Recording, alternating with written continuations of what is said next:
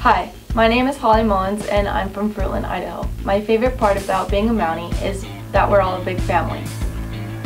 One interesting factor about me is that I can do a backflip.